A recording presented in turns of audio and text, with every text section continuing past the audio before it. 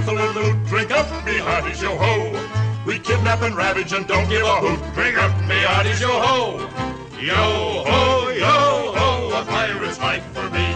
We extort, we pilfer, we filch and sack. Drink up, me hearties, yo ho. Maraud and embezzle and even hijack. Drink up, me hearties, yo ho.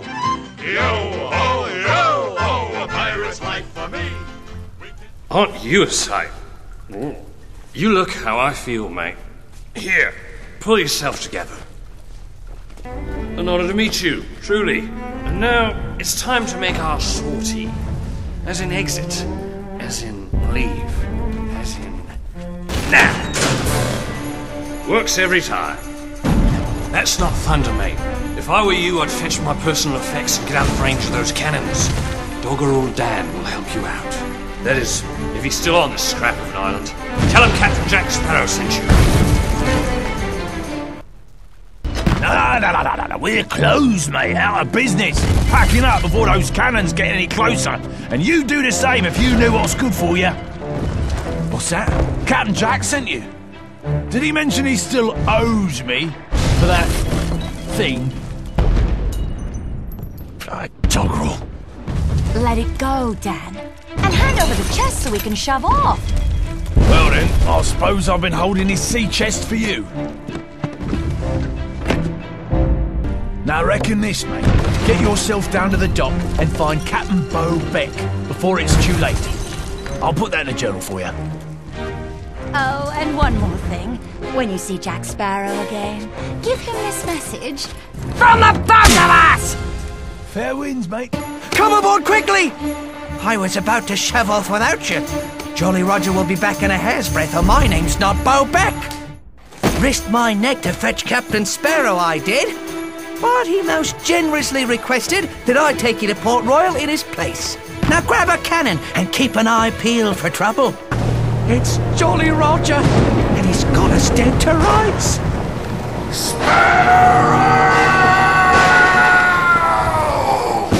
Don't worry, I'll handle this.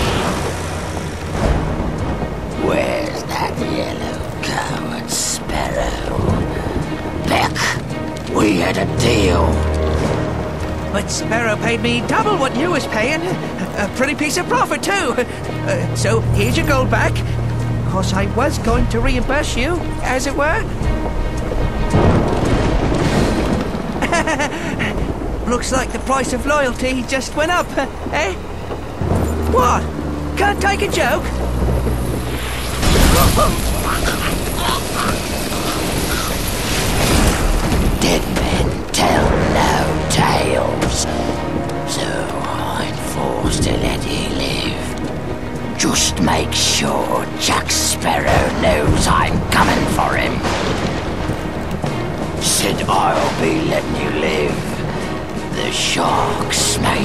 be so charitable.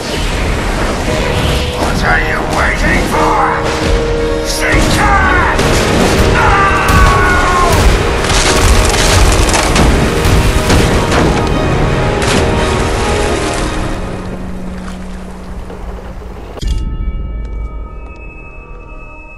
On my word, do as I say or I'll run you through.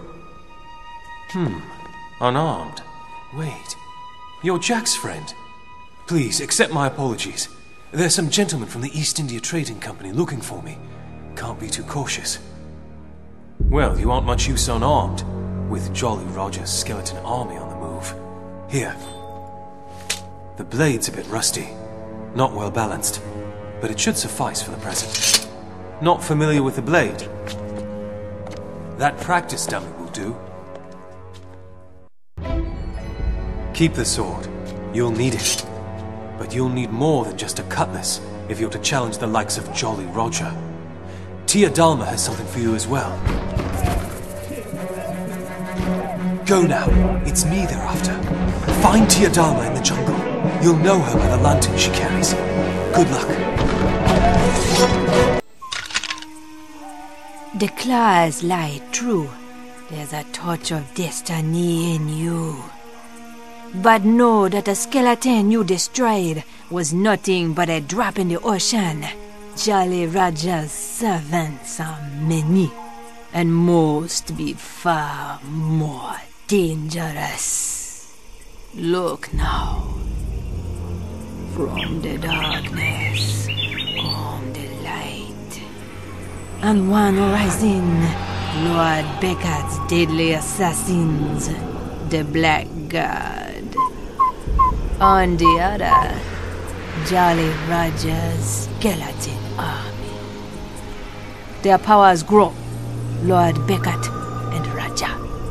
No more this can be.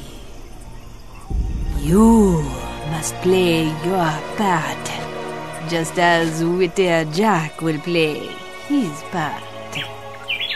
Now take this, something for you. Help to find a way, yes. I watch you. When destiny whispers, I will reveal more of the dark arts.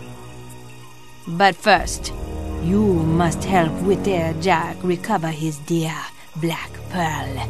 For without a pearl, we all be lost. Go now, hurry. Ah, so you're Jack Sparrow's newest protege, hmm? Well, I'm afraid dear Jack is in more trouble than he realizes. Lord Beckett has recruited an army of assassins, and there's no parley with Jolly Roger. Jack needs our help if he's to take back the Pearl. The Navy has it heavily guarded. What's this? Release orders for the Pearl. I can see why Jack has taken a liking to you. But these will do you no good without my father's seal. Here. Now, if the Navy catches you with these orders, there'll be no trial. You must leave Port Royal immediately. You'll be much safer if you make for Tortuga. Find Jack, he'll know what to do. I'd go with you myself, but I'm awaiting my father's return, and he's long overdue. I'll arrange a boat for you. Good luck. This here's a dark place. You'll need more than that cutlass if you want to get out of here with your skin. Here, take this. Now, before you go blasting every feckless ingrace in sight, a word of warning about the code. The code covers more than just parley. It defines the guidelines of engagement for a pirate. I was getting to that, you mongrel. This be the part to remember. There'd be no use of unnecessary force. No shooting of the pirates, or even Navy swine for that matter. Cheat them, steal from them, plunder their ships, yes. But no guns. That is, unless you be facing a cursed pirate. You see, the code don't apply to dead pirates. So, if you want to have a go against your mates, be sure you pick up one of these.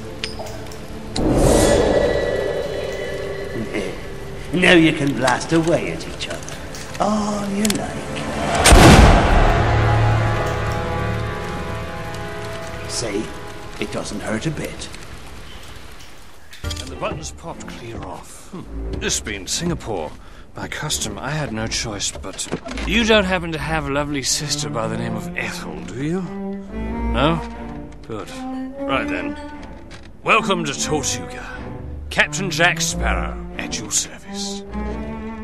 And this gentleman, who needs no introduction, is. What's your name again, mate? John. oh, well, uh, James, actually. Right. We were discussing the important matter of my next drink. Is. Hmm, still there? Oi. Now I remember. You're that scrap of flotsam from jail. Come to square up with me for that free trip to Port Royal, eh? We're going after the Black Pearl, mate. Savvy? So go find Joshamee Gibbs and tell him I sent you. Leave a nice tip, mate. Jeremy here pours a spirited spirit.